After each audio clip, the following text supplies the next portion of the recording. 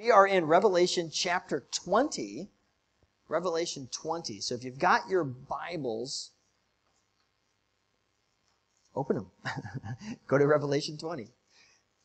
It's an easy one to find. Just go to the end and then like flip back a few pages. easy peasy. Um, if you don't have a Bible, we've got we've got them uh, on the ends of each rows. Do be reading there together. I would love for for that to be a continued staple of our church fellowship. Is that we read the Word. We go line by line, verse by verse through the Word.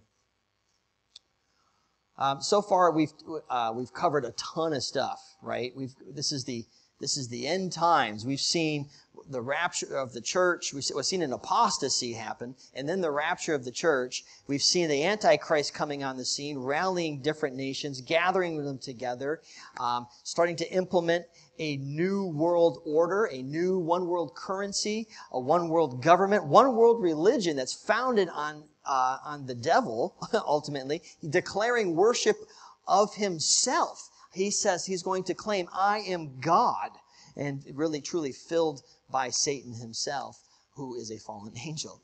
Um, and so that's uh, what that's what we've seen. We've seen judgment after judgment after judgment that God has rained down upon the earth, and we can look at that going, "Oh man, that's sad. People are getting killed. People are get, like, suffering." But what God's doing is He's turning up the temperature. He's making it uncomfortable. He's eliminating that person who's like, yeah, maybe there's a God. I'm not really sure. There are no atheists at this point. They know that there is a Lord. There has to be, and they're either for him or against him. It is very, it's a very clear delineation between the two. And if you're in Camp Jesus, there's still some suffering that you're going to go through, but it, but the end awaits. There's a light at the end of the tunnel for those people, right? Talks about the mark of the beast that's going to be coming on, and without that mark, you're not able to buy, sell, trade. Basically, you can't be a part of culture. You're going to be scrounging for your life in a war-torn, a, a stricken world. And so, uh, wild stuff that we've seen. We saw also the um, the Battle of Armageddon, where nations are gathering together, millions of people to make war with God. Uh, that was that was wild, right? And he comes back and just speaks. He, said, he says the, the word of, that comes out like a sword, and it annihilates them, right? So just they just drop dead, boom.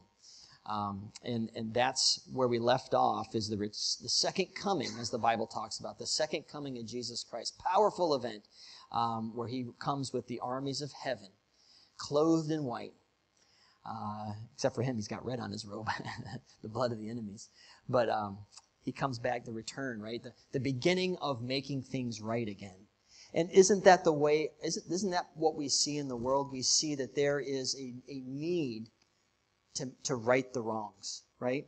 We see that there's a need. We look at all the injustices of the world. We see how terrible things are and how uh, deception's rampant and, and there's, there's lies and mistruths and half-truths and manipulation and power grabbing and, and corrupt, just, just corruption and, and uh, you know, huge amount of lust in our culture especially and just so much stuff. And there's a, there's a need to have things made right. And the second coming of Jesus that we talked about last week is the beginning of that, where he's starting to make things right. He's taking those broken pieces, if you will, that we sang about, right? He's putting things back together from, from a creation standpoint.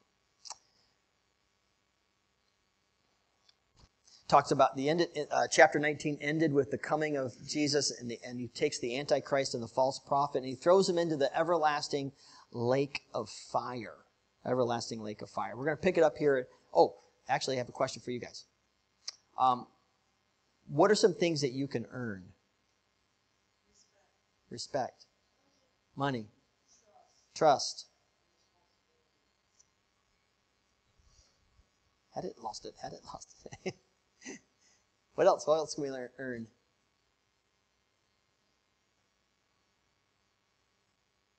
Yeah.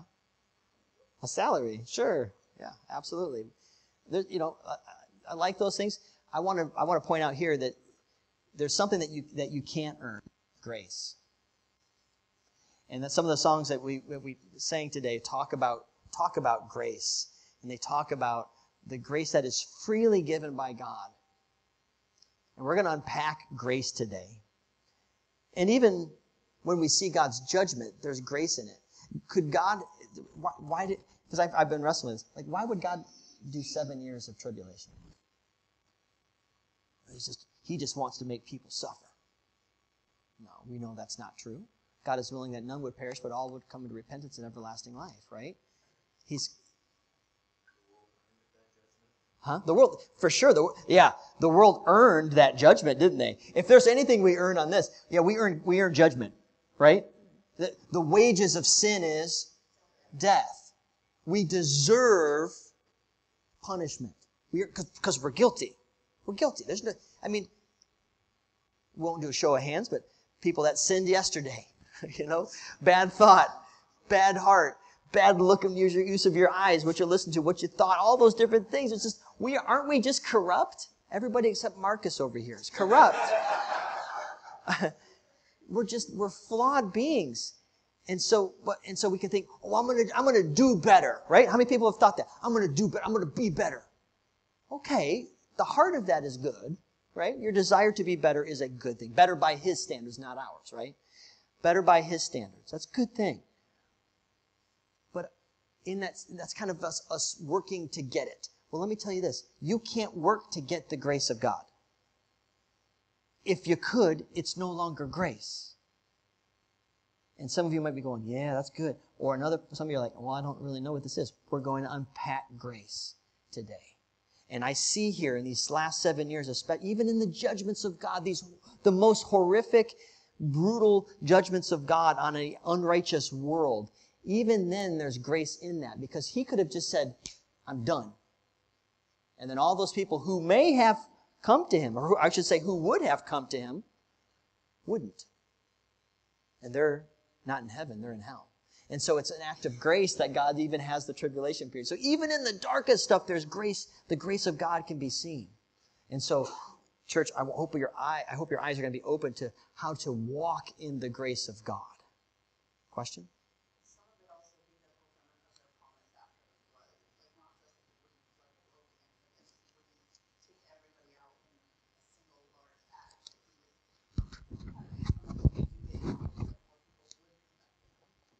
That's it. I mean, he wants people to come back to him. Yeah, yeah. And he's not.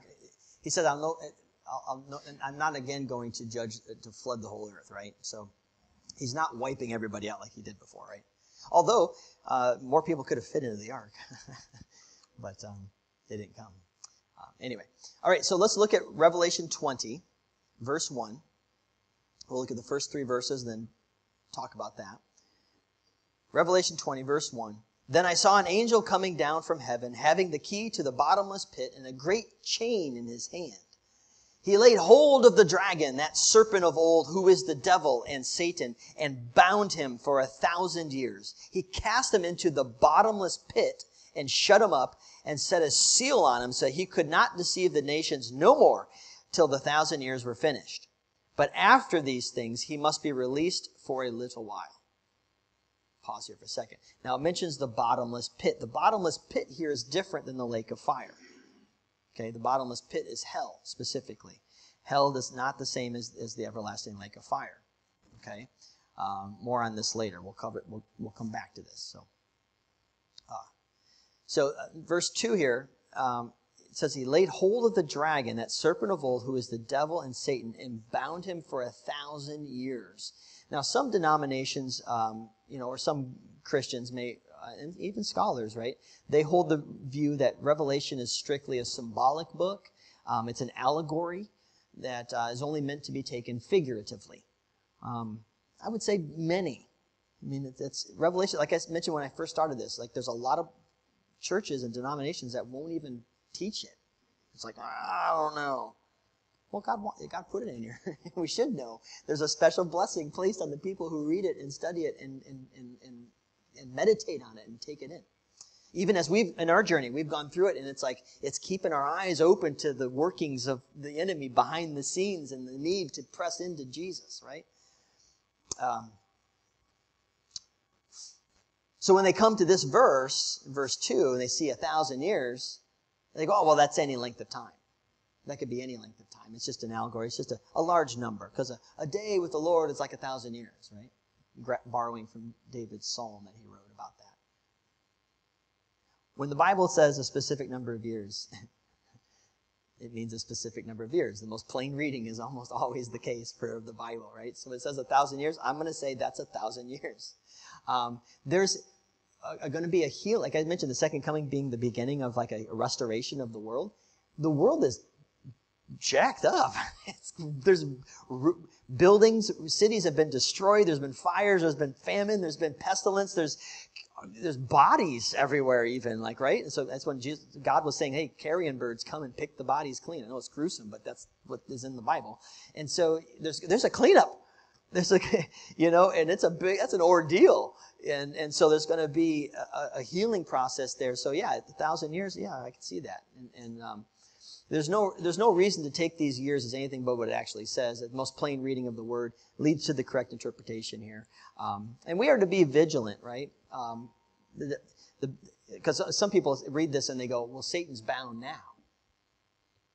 See, he's bound now. It's like, ah, uh, no. no, we see him.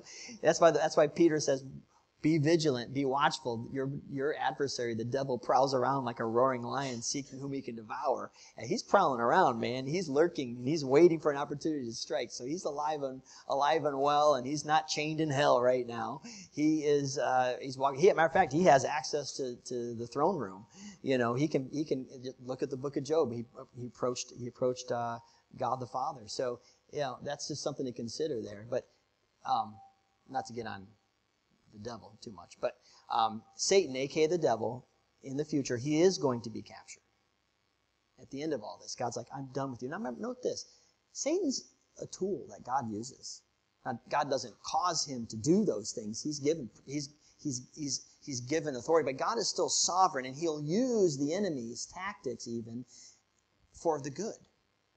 I think of uh, Romans 8:28 that says all things work together for good, for the good for those who love God and are called according to His purpose. And so God will even use the junk, the tough things, the terrible things, the tragic things in our life to bring about good. He does that. He's done it with me. He's done that with many of you.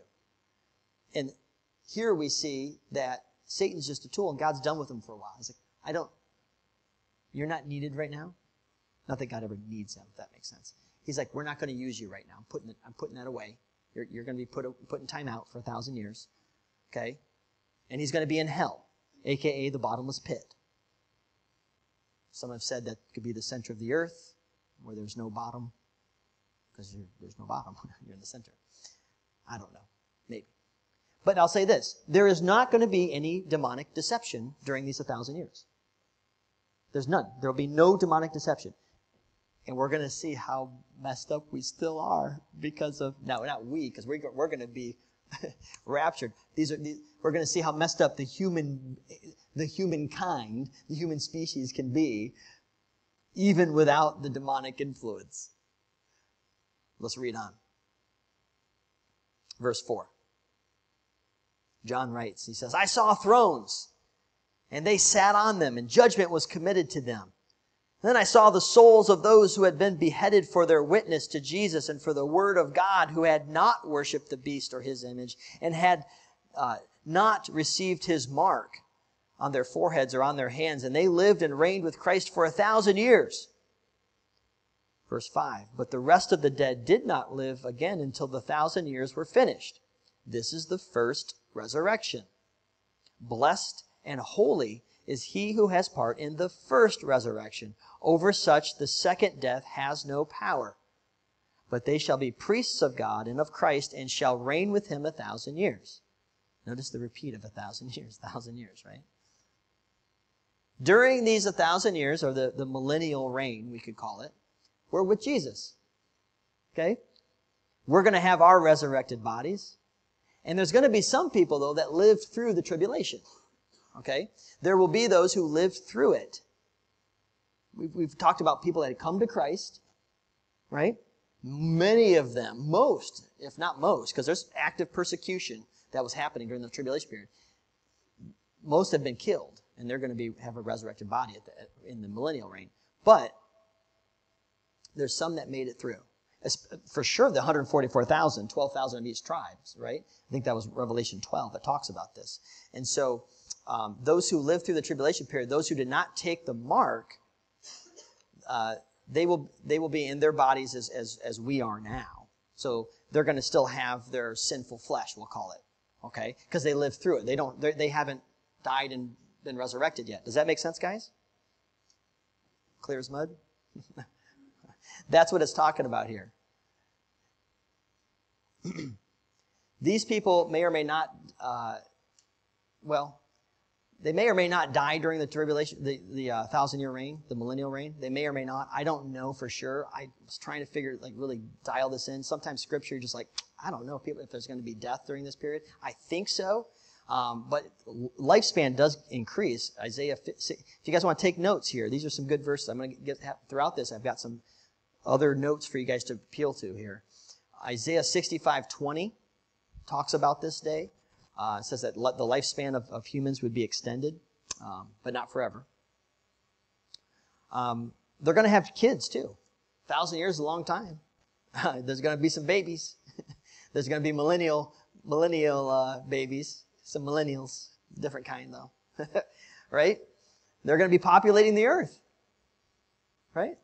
Again, no demonic uh, activity though, no demonic deception. There will be a theocratic government then. It says that we're going to be ruling and reigning with him. Huh, interesting, right? Jesus, of course, is reigning as king. God is that that's it, man. Isn't that gonna be isn't that cool? Like this what is right is very clear. It's gonna be very clear wherever you go. Nobody's gonna be arguing with that. It's just like, yep, that's it. It's gonna be so refreshing, right? Um, Isaiah 2 verses 1 through 5 talk about this. We don't have to go there, but just like I said, jot these down. Read, read these throughout the week. In verse 4 here, it says that the resurrected saints will rule and reign with him. Says, I, thought, I saw the thrones, they sat on them. Judgment was committed to them. And I saw the souls of those who had been beheaded for their witness to Jesus and for the word of God, who had not worshiped the beast or his image, right? The resurrected saints will rule and reign with him. Luke 19, verses 11 through 27 talk about this. 1 Corinthians 6, 2 and 3 talks about these things. Okay? I love this. I love how scripture just, you know, it's all connected, man. It's almost like it has the same author. Spoiler alert. It's God's word. he had this from the beginning. Um, now, note this here. It says, uh, it says, the rest of the dead were not to live again. Da, da, da. We rule and reign with Christ for a thousand years. Okay. Notice this. There's work to be done. you guys get that? There's work to be done here. There's cleanup to be done. There's ruling to be done. There's re- ruling and reigning doesn't mean you just, it's not, this is not ruling and reigning from a, a La-Z-Boy recliner. it's ruling and reigning like you're going to have dominion. Matter of fact, the, one of the verses I, I, I think one of the ones I share with you, Paul's talking about, he goes, hey guys, if you can't rule and reign over your own bodies, how are you going to rule and reign over angels when the time comes? Because that is coming. That's Paul's words. I'm paraphrasing. This is in Corinthians because he's talking to the church of Corinth. He's like, you guys are crazy. You can't even control yourselves and rule your own bodies, let alone what, it's like, what's going to happen in the millennial? Like when you're reigning Je- with Jesus. You're not going to be able to. So we're going to have we're going to have authority. We're going to be uh, judges over the you know over the world and and and and implementing the Lord's will on creation. We're part of the recovery. You know, we're first responders to the to the damage that's been done and kind of the the healing process. And then of course the people that live through the tribulation, like I said, they don't have their glorified bodies yet. There is still in us that propensity to sin, whether there's a demonic temptation or not, whether there's a demonic influence or not, there's still this part of us that's bad. It's part of the fall. It's part of the fall, all the way back to the Garden of Eden when they chose to defy God. But now, with this, what I want to point out is that work is meant to be a blessing then. This is, this is the after fact. I, I was thinking about this. I'm like, oh, because we think of work and it's like, ugh, work, work, work, you know? Oh man, we don't like that. Chores, kids, right? Chores. Oh, make it, oh. when God created Adam and Eve and he put them in the garden, what did he tell them to do? Huh? I can't hear you. Commit, just commit. They said to multiply. Yeah, that's not work. that's, that's um, tend to the garden. Work the garden. Plant the crops. Tend to it. See, I've given you all of the fruit and the seeds to eat. Well, you that means you need to tend it. They were meant to do that. And part of the curse was there's going to be thorns, and, and now the brown's not going to produce what it would anymore. And the second law of thermodynamics starts. Things break down. It's going to take work. And, and God even said, Adam, by the sweat of your brow. Work changed. Work changed with the fall, guys. God opened my eyes to this. Work changed after the fall. And now work became as we know it work. Blah. The grind. That's Monday. Hey, hump day, Wednesday, Friday. I'm off cycle, cycle, cycle. Work is meant to be a blessing. And now here's the millennial reign, and there's a restoration that's happening. Ah, things are going to stop breaking down like they used to. Wouldn't that be a joy if you if you built something and it doesn't fall apart, guys? Ooh, now it makes you kind of want to go, what else can I build? What gardens can I plant? They just grow. Everything I plant here grows. It's amazing. Sorry. Keeps doing this weird thing. Um, yeah, wouldn't that that would be a joy, right? Being able to build something and it lasts. Build a house, doesn't break down. Nothing wears out. All the electrics works just fine. I was closing my garage door yesterday. I'm like, whoa. Didn't even tell you about this, Em. and then I tried to open it and it didn't open. I'm like, oh no, another thing, right? Oh, another thing. Car breaking down on the road. Another thing, right? Work, I gotta fix it out of time. All this stuff. Weeds. No more weeds. Or weeds will do something better, maybe. Maybe they'll be better for you. This, these weeds taste great. I love weeds. Anyway, work, we're ruling and reigning with them. It's not work as we know it, it's a joy. Because we are, we are amongst other believers. We are part of the healing process. We have oneness with, with the Lord. And so there's going to be so many cool things. Heaven is not just some kickback party and hang out and just feast. It's fellowship with the Lord, yes, and intimacy with Him and relationship with Him, but it's also uh, really what was intended from the beginning. And it talks about re- the, the it says, um, blessed and holy is he who is part of the first resurrection. Over, the, over such, the second death has no power. They shall be priests of God and of Christ. They will reign with him for a thousand years. So Jesus is reigning as king. We talked about that. Um, Jesus' resurrection was the first, right? He was the first fruits, right? So his resurrection was the first. Now, a resurrection is, is the glorified body. It's not just, so we've got Lazarus who raised from the dead. There's been multiple people throughout the, the, the Bible who's been, who've been raised from the dead. Matter of fact, one, an, over, an often overlooked uh, fact is when Jesus was crucified, the, the tombs opened up and people resurrect. Like they didn't resurrect, they revived. We would say they didn't have their glorified bodies. How wild is that, man? They walked around. Could you imagine? Oh my gosh, I'd be so frustrated if that was me. Why did you? I don't want to go through this again. I was, I was afraid. I don't want to be here. Call me when this is all over. Get me back at the millennium in my glorified body. Uh, anyway, Jesus was the rest, was the first fruits. 1 Corinthians 15 20. And then the martyred saints are resurrected. Martyred saints. Talked about the martyred saints in verse 4. Martyred meaning killed for their faith during the tribulation period. They get resurrected. Okay? We will most likely be as well. We'll be resurrected as well. Those who have been raptured or died previously, we will be resurrected. If, you're, if you died in Christ as, as forgiven, right? Um, when do we get our resurrected bodies? I will be honest, I'm not 100% sure. Is it right at, at the moment of death? Is there a, a degree where there's like a, like time works differently in heaven? You know what I mean? Like I don't, I don't fully know. Uh, there's some really good scholars that I love that say, yeah, it's right after death, resurrected bodies. Other times they say, no, it's here at this point of time. Um, I lean towards right after after death. Um, Yeah, see, right? You've got all the time in the world. If nothing else, right? That's like, where am I going to go? Like, time doesn't even, you know. Some of you people that are retired, you're already starting to experience that time. Ah, whatever. What do you do?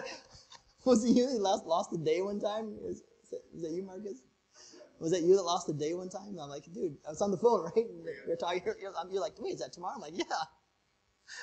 Gain days, lost day. I'm not putting you on. Sorry. it's happened to all of us, right? But that's kind of what happened. I remember when I was a kid, summer vacation.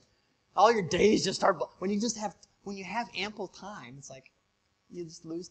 Like everything just one day kind of blends, right? That's okay. Well, that's kind of what's going to happen here in the millennial. Although time is still going on and there are days and all that stuff. But anyway, um, regardless of when you get your new bodies, there's going to be a resurrection. You want to be part of that first resurrection, right? We'll cover the second one in just a minute. So you want to be part of this first resurrection and these new bodies that we get, guys. so amazing. We don't even know. We don't even know, right? No more sin. Won't it be nice to not have war within yourself? That the only thoughts you have are the right ones? The only feelings that you have are true. That means that you'll only feel what's right. You'll only think what's right. You'll only say what's right. You'll only desire to hear what's right. Oh, that alone would be a win, wouldn't it? Think of the, fr- the freedom you have at that point. Whatever your heart desires, go for it, because it's going to be right. You want to think on that? Go ahead. It's only going to be the right thing. How beautiful that's going to be. There's no more pain, no more aches and pains. Some of us went to Dollywood on Monday. My feet were messed up so bad for like the next two days. It felt like like raw meat. It was just like terrible. It won't happen. You'll be able to run running all over the place, man. Be just fine the next day. No more pain, no more aches and pains. That bum knee that you got, gone, baby. Well, not the knee's gone. The, the pain's gone. you got new ones. You got upgrade. You got a whole hardware upgrade to run the new software, which is the, uh, which is the, you know, uh, the, the resurrected body. No more maladies, the speedy travel. We see that throughout Scripture. You know, being able to just to be here, be there. Teleportation, man, it's cool. We'll have a full understanding of God's heart. You'll know God. You'll know what He loves. You're going to be able to go give Jesus a hug. I can't wait for that. I don't know. I can't even think about it. I get all emotional, right? Will we have interplanar, uh, interplanar travel? Will we go check out like other planets? Like, there's an entire universe out there, in case you didn't know. right? And we get excited when there's like a, a solar eclipse or a lunar eclipse. It's like, whoa, this is cool. Man, wait until you go to this, you know, galaxy and look at these star systems and like, you know, wouldn't that be cool to go explore God's greater creation of like, man, that could be wild. I don't know. That's me speculating, okay? The interplanar travel. But why is it there if we're not going to go look at it? But that's just my own thought. How about this? What if we just took our five senses? Some of you heard me do this before. If we just took our five senses that we have, okay, and just took what we have here and just expanded them. What if God, the resurrected bodies, and God just expanded them? So all of a sudden we're hearing what? New things. We're like, what is that? Oh, that's the sound of a caterpillar. I don't know. Well, that's amazing. I've never heard that before. Oh, isn't that cool? And now you're going you're going to wander around for 20 years listening to new stuff. What does that sound like? What does that sound like? Wow. Yeah, yeah right? you know, just do that. Well, that's another thing. What if he took our smell and just gave us new smells? Oh, oh my gosh. Ooh, what's that? You know, you know, it's like new smells, right? Amazing. How about new tastes? What if he just, you know, some of us, as we get older, our taste, you lose taste buds. You know this, right? That's why typically as you get older, like the stronger flavors come out more because you're, t- you're, you're, damaged goods. What if God just gave you a massive sensitivity now? All of a sudden your palate is like, you could taste all these different flavors. Like, whoa, it's going to be wild. New colors? We see the, the, the, the, light spectrum, right? You've seen the, uh, there's um, red waves. What, what is it? What is it? Uh, there's ultraviolet and then there's, there's red as well, right? So like we can't, infrared, infrared. Thank you. Like we can't see infrared. We can't see ultraviolet. You know, we, uh, and so, but we, we see that the scope. There's like this. If you see like the light range, the wavelengths of, of light, we only see like this little tiny por- portion of it. What if God went like this, wham, and just gave us full like view of it? Like you'd be like, you'd be seeing so many different things, new colors. Things would look different. Blue is no longer blue. It's it has a it's a different thing because you're seeing it in all in its in its fullness. It's wild. There's been some people uh, that, that have talked about uh, different um, uh, gemstones. That in what's it called? What's that called? The absolute light? Is it is that what's called? Absolute light? Infinite light? Where it's like all of the all of it's the totality of, of, of the fullness of light. What is it called? Full spectrum light.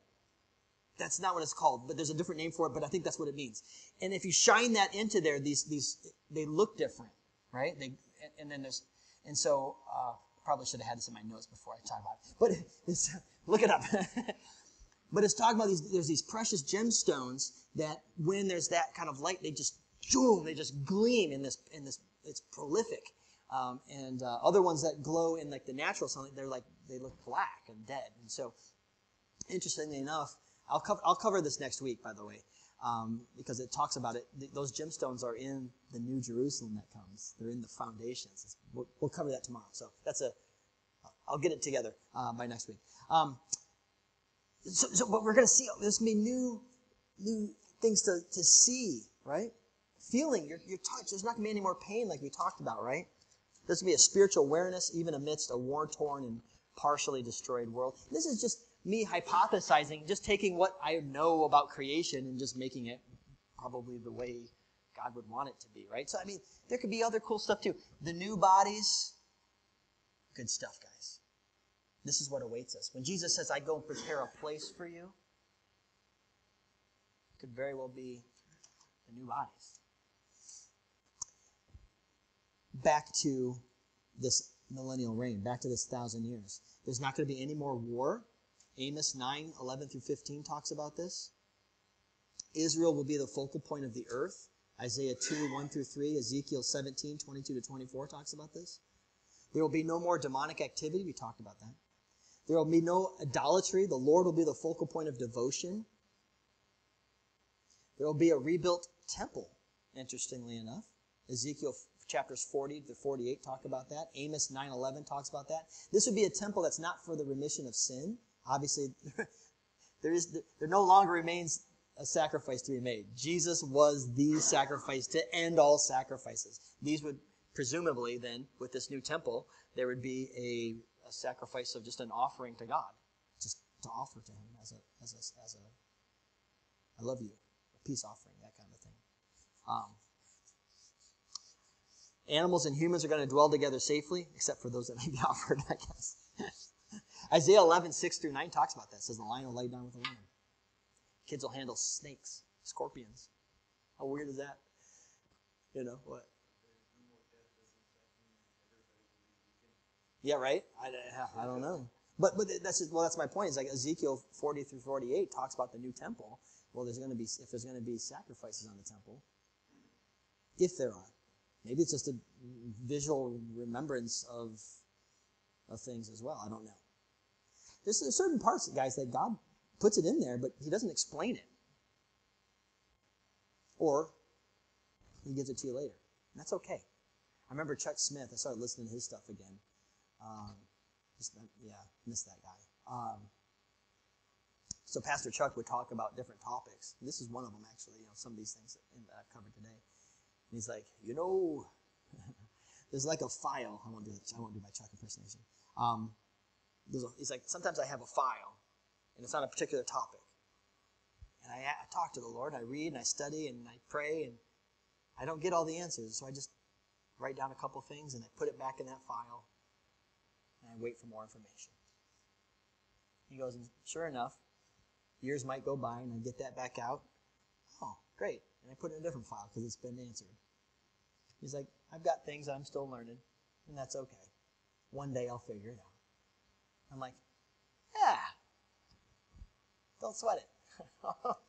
you know, we'll figure it out because we'll be very clear.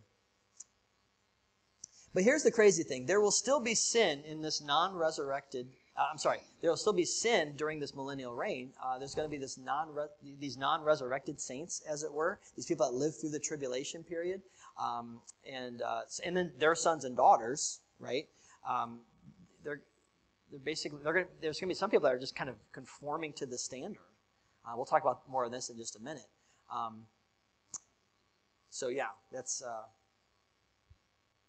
something we want to look at there. Uh, I think I already covered this.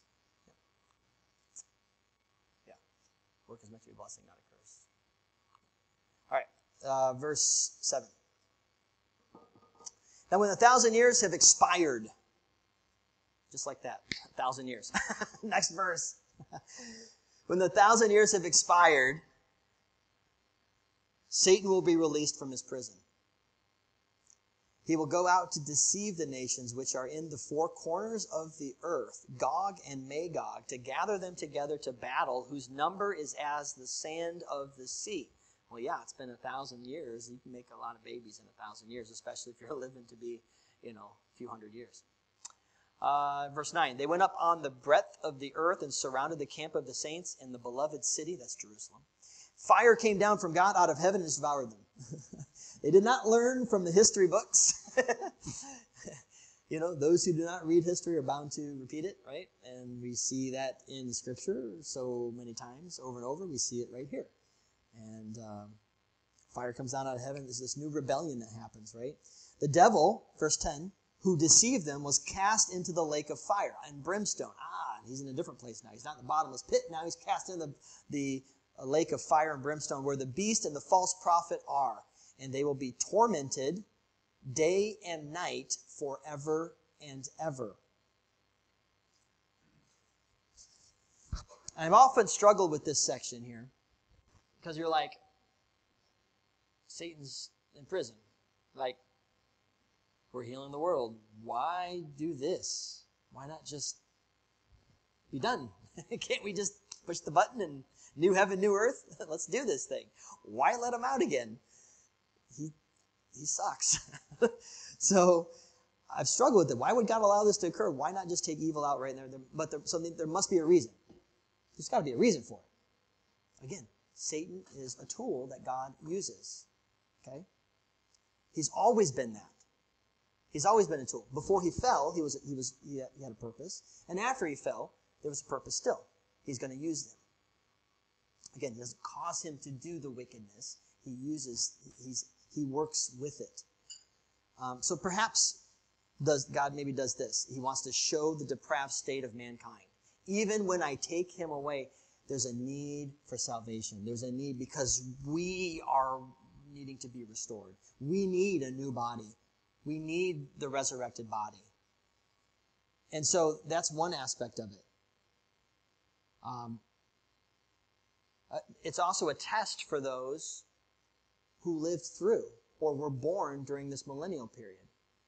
They've never had an opportunity to be even deceived. They haven't even had that opportunity to not choose God because everybody around us is a believer.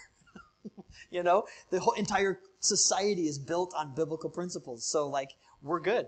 And then Satan gets released. Now there's demonic.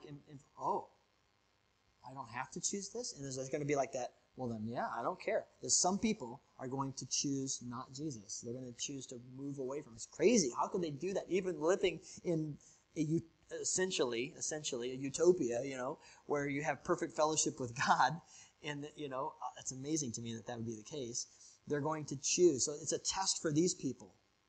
They had to have that test so they could choose.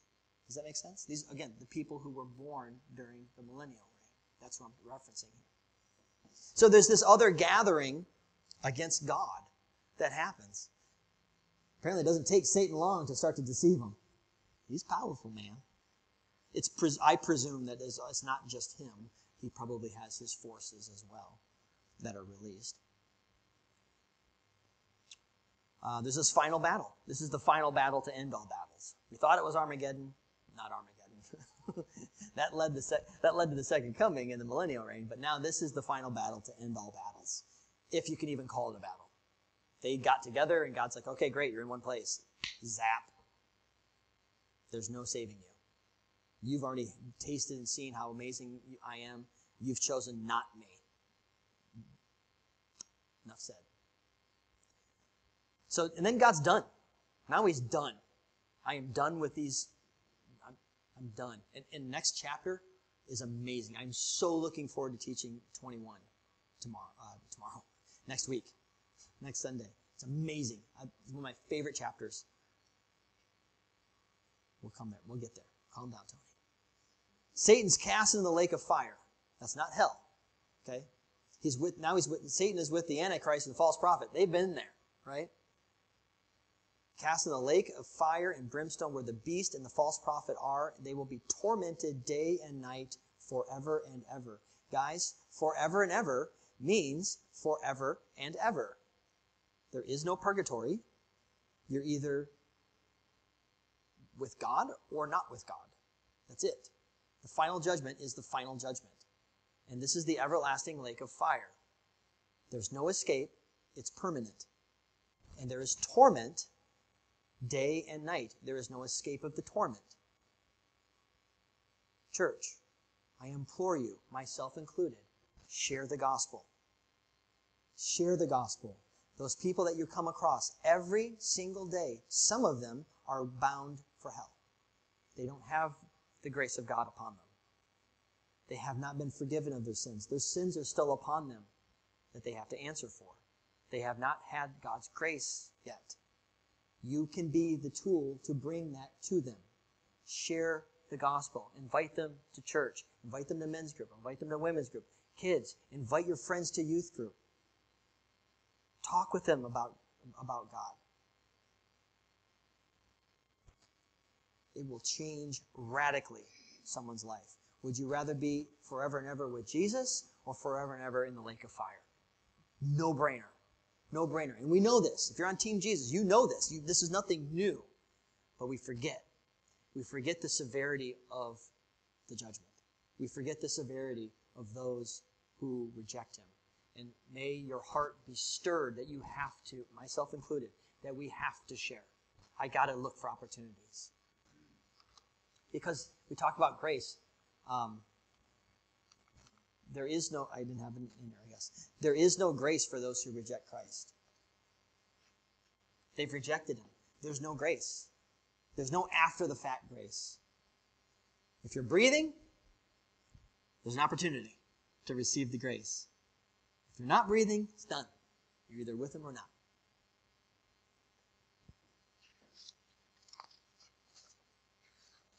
All right, last section. This is cool.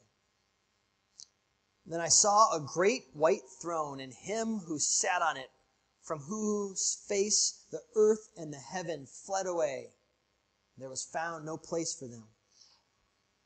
And I saw the dead, small and great, standing before God, and books were opened. And another book was opened, which is the book of life. And the dead were judged according to their works, by the things which were written in the books. The sea oftentimes, by the way, remember the vision uh, that, that John would have. The sea represents society, culture. The sea gave up the dead who were in it, and death and Hades delivered up the dead who were in them.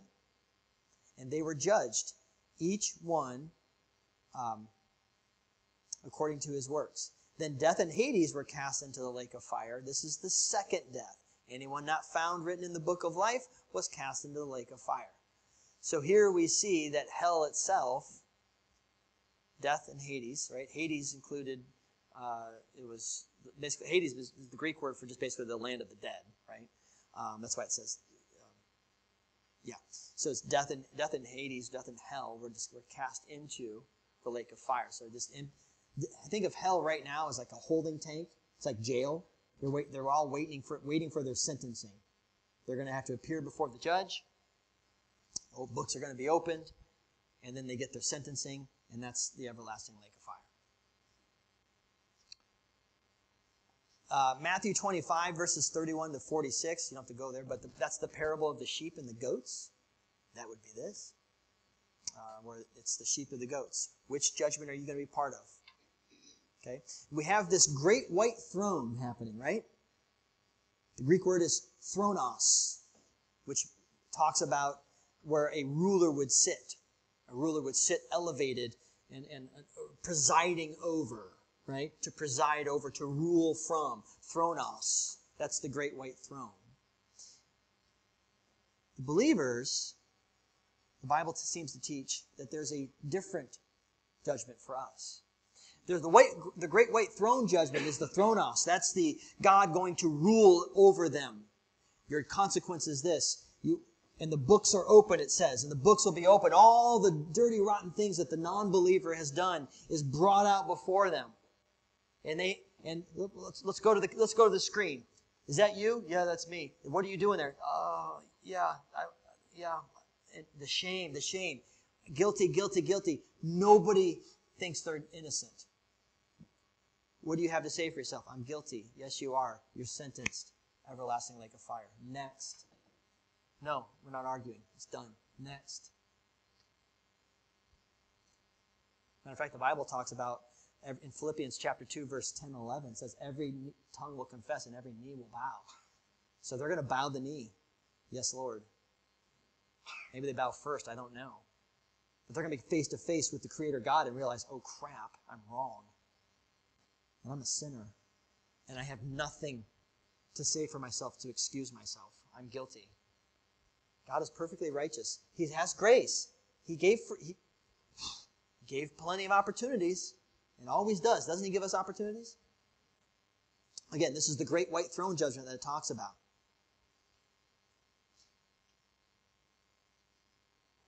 It says that they'll be judged according to their works, verse 12, by the things which were written in the books. Hmm. Everyone since the beginning of time will be judged upon this throne. Think lions are bad now? of course, that won't be us, right? If you've rejected Jesus and his salvation, you are not in the book of life.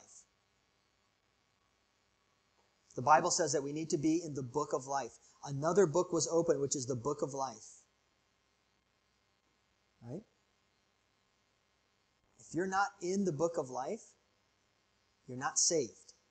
If you've said yes to Jesus and you've repented of your sin and you've received his forgiveness and the grace of God is now upon you, you have salvation based on the Word of God, based on His work, not yours.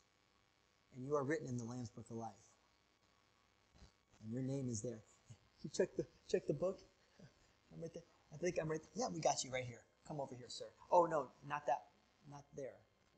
You're in a different place. And the Bible talks about a different place called the Bema seat or Bema. Some people say Bema. Um, I think it's Bema. Not Bama. Not Bama. and that that Bema seat is different. It means an elevated platform, a raised platform. Paul uses this in multiple places to talk about talk about running our race. It says we're going to be judged. I think I wrote them down. 1 Corinthians 3, 12 through 15 for those for you note takers. 1 Corinthians 3, 12 through 15, Romans 14, 10, 2 Corinthians 5, 10. Paul's talking about the judgment.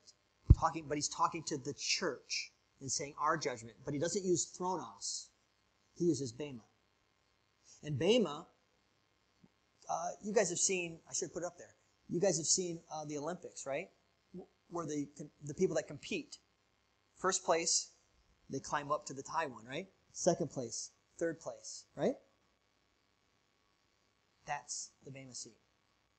Our judgment is not a let's look at all your sins and answer for your sins. Guys, our sins were dealt with on the cross. You come before the Bema seat, it's as a friend to God, as God's kid, as God's children, one with the beloved. That's different. That's daddy with his son and his daughter. Daughter, come here. Come here. Stand up here. Stand up here. We're gonna we're gonna we're gonna look at your at what you did. And the Bible talks about how our works are gonna go through the furnace, as if judged by a fiery furnace. So some of the stuff's gonna get burned up. We talked about this a couple weeks ago, right? But then there's things that remain. And he goes, Oh good job. Well done. Well done, good and faithful servant. Servant. And then we, you know, we know it's not us. We glorify Him, and we enter into our rest. That's the Bema seat. That's what Paul talks about. He uses a different word, guys. It's not thronos. We don't come to God as the, as the ruler, the judge, the, the, the sentencer. We come to Him as daddy, as father, as His sons and daughters. And our judgment is based on the works. Yes, our works are judged, but it's our good works that are judged. What was the spirit we did them in? Right? That's the believer's judgment. Two lines separation of the sheep and the goats, the Bible talks about. Right? And there is absolute, ultimate power in the grace of God, isn't there? Do we deserve that? Did we earn? Yeah, first place, baby. I earned that. I trained hard. I worked hard. I studied. I pushed my body past the limits. I, I studied the enemy's tactics and I overcame them. Yeah, give me that first place prize. Yeah. yeah. Woo! No. We didn't earn it. That's by grace. Kidding me? So the Bible says that we're going to cast our crowns before the, the, the, the, the Lamb. I think that comes up next chapter. Because we're not worthy. He's worthy. You can't earn grace. That's the power of the grace of God is so mind blowing when we really look at it. It's so mind blowing. May we learn to walk in the grace of God. May we learn to see the magnitude of the grace of God. This is not some, you know, hey, get out of jail free card. This is not like, oh, okay, thank you. Whatever. This is meant to be a daily walk, a daily active mindset, front of mind, knowing the grace of God, experiencing the grace of God, right? At no point do we deserve it. At no point did we earn it. Look at this here. This is the last thing I wanted to get into. If you have questions on anything, by the way, this is a friendly reminder. Text those in now. Uh, we'll answer them if you're wanting to walk in God's grace and really see like the magnitude of it, here's a nice little acronym there G R A C E. God's riches at Christ's expense. Many of you have heard this, I'm sure. God's riches at Christ's expense. The only way to have God's riches is at Christ's expense. Again, you cannot earn grace. Grace is freely given. It's only given through Christ and his atoning work on the cross. That's what makes that possible. God's riches at Christ's expense. And if you can't earn grace, guys, stop trying. Stop it. God is not. What can happen is we, we, we yes, we know this stuff intellectually, but then on a day to day basis, now all of a sudden we go back to, to uh, raw religion and if I do more of this thing, God's more happy with me. You're already his kid, okay? Stop trying to earn his grace. You can't earn his grace. It's good, yes, it's good that you read your Bible daily. Yes, it's good that you pray for someone. Yes, it's good that you are giving. Yes, it's good that you look for people to share the gospel. Yes, all of those things are good. Yes, I'm not taking away from that. But that doesn't make you in more favor with God or that you're in like a that you are a super Christian or something. You can't earn more of His grace. It's fully given to you and freely given to you. So when you do read your Bible, you do pray, do those things out of love for Him, not out of raw, mm, you know, religiousness. That's what I'm saying. Grace is the concept of grace is unique to Christianity. It is the only world religion that has this. God came, died, paid fully the sin, for sins, rose from the grave, and gives his righteousness, his grace, salvation to any who come to him. And doesn't take it back. That's huge. Game changer. Absolute game changer. Amazing, right? That's the difference between the sheep and the goats. That's the Thronos or the Bema seat. Which one do you want? I want to get up on the podium. Maybe I can, you know, be in the top 100. no, but we're gonna get, we're gonna have our own little platform. Right? Not we're gonna be ranked with each other. That's not. That was just a joke, bad joke. Um, you're gonna, but but we're gonna be judged for our works, right? That's a different thing. That's a hey, I have stuff I want to give you. I want to high five you for the good stuff you did. Now, anything good we did, how did we do it, guys? Through grace. Let's cover this. Look at the grace. Look at the concept of grace. Look what grace gives us. It changes everything. The much more grace of God is a, is a wonderful thing. By grace we are saved. We could stop there, couldn't we? Thank you, Jesus. That's enough. By grace we are saved. Got the verses up there, right? By grace we stand. We're able to actually just be. We're not broken and, and destitute. We can actually stand in the grace of God. By grace we are gifted by God. That's what the Bible says. Ephesians 4 7. Wow. We have supernatural gifts that God gives us. That's His grace. I didn't earn those. I didn't do anything. I just said, Yes, Jesus. I'm in. You're going to you're going to give me gifts to use and, and to work in the, in the kingdom? Wow, that's cool. Look at the next one. By grace, we're rewarded in heaven. That's what we were just talking about. That's grace. Any good thing that I have that's in me, I didn't put there. The Holy Spirit put there. Church, if you are struggling with something, it needs to be less focused on how you can get this done and more focused on how God is going to get this done. I'm not saying you don't have a role in it. I'm not saying that self discipline isn't a factor. I'm not saying that. But what I am saying is far more, it's an empowerment and filling of the Holy Spirit. If you walk in the Spirit, you will not fulfill the lusts of the flesh, the Bible says. So if you're wanting change, good, healthy change in your life, it's, a, it's less of you trying and more of you surrendering. Oh, that's good right there. Thank you, Jesus, right? It's less of you trying to make it happen and more of you surrendering. Surrender to Him. Lord, I can't do it. And He's like, Ain't that the truth? But I can.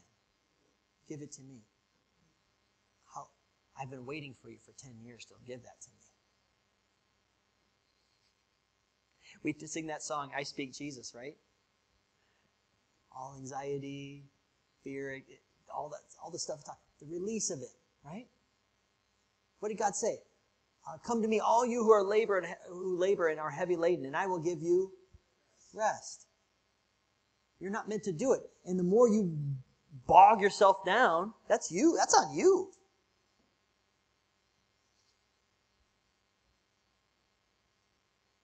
anything good in us, God put it there. And He wants to keep putting more stuff there. More stuff, more stuff. So surrender, surrender, surrender.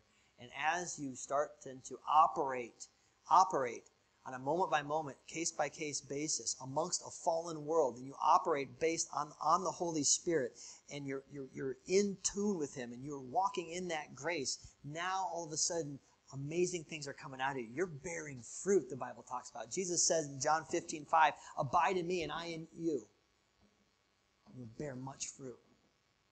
He even says this apart from me, you can do nothing. That means nothing of significance, meaning nothing of, in that Bema seat, you have nothing to show.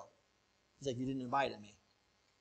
Come on in, but you were apart from me. You're, you're of me, but not abiding.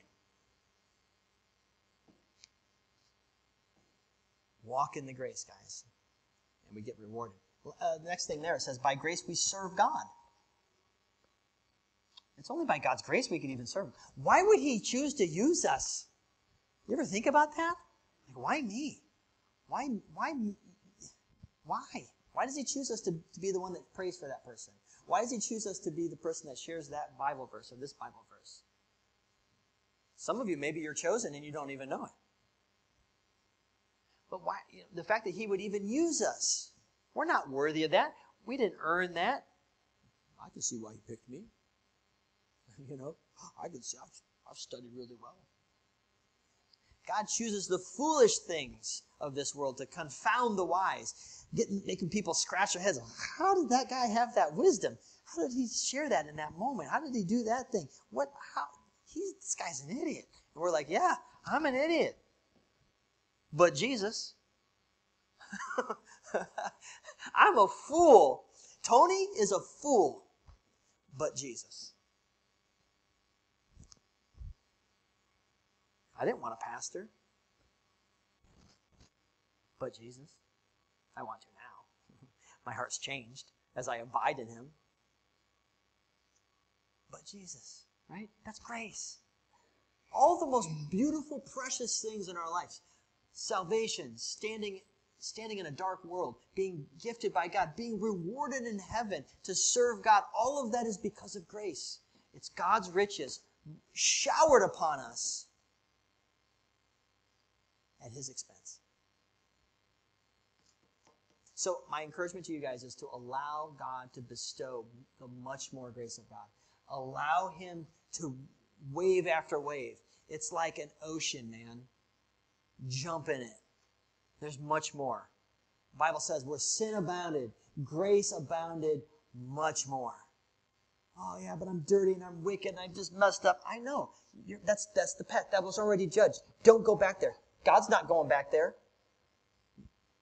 God's not going there with you. If you've accepted the Lord, He's not going there anymore. There is no thronos judgment. So don't you go back there. God's always looking forward, man. Yeah. Yeah, you messed up. But let's go. Grace. Let the grace of God. God's grace is an ocean of grace that washes away that sin, guys. An ocean. There's no lack. You ever go to the ocean? You ever even a lake sometimes, right? The ocean's just like, to the horizon. Just water. It's like, whoa. That's the grace that God has on us. It's complete. It's thorough. It's beautiful.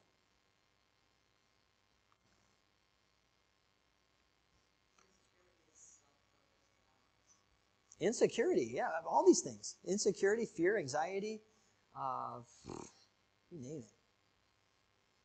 It's, it's ironic. The more you stop focusing on self and you focus on the Lord, it's like everything changes. Because this is changing, this is changing, your spirit is changing. And outwardly, maybe nothing's changed yet, but you're in a different, you're in a different place. And now that thing that would have sent you into a tailspin isn't anymore. That's grace. Oh, that's beautiful. Walk in the grace of God, guys. That's